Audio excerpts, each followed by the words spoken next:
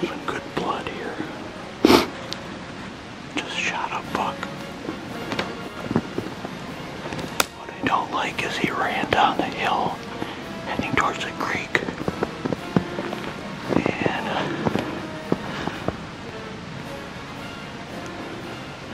And he did not make it to the creek. There he is. I guess I don't have to whisper.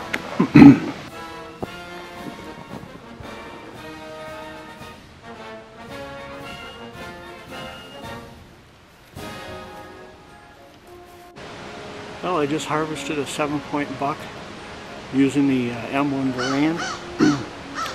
uh, range is about 20 yards. Uh, little buck just walking through the woods here, going from south to north on Old Bald Hill.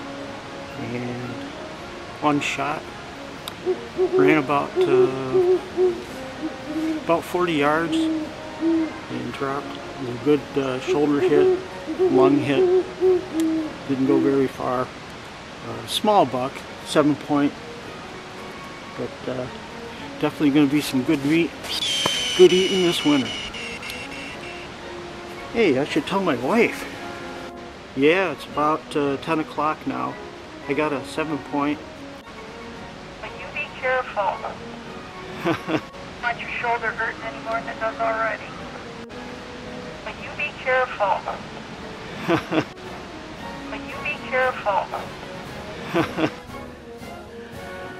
okay. Here's the buck, and here is my deer dolly or deer cart. I'm gonna try and load them up on there and strap them down. Whew. Oh.